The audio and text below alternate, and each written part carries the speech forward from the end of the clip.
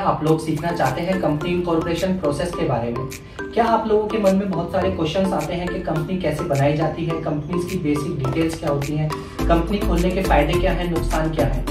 अगर ये क्वेश्चंस आपके माइंड में है तो आप लोग ये कोर्स परचेज कर सकते हैं। मैं राहुल शर्मा, आपके लिए टैक्स और वेल्थ के साथ मिलकर एक कोर्स लेके आ रहा हूँ, जिसमें आप लोग कंपनी की बेसिक डिटेल से लेकर एडवांस लेवल तक की इंफॉर्मेशन आपको प्रोवाइड की जाएगी।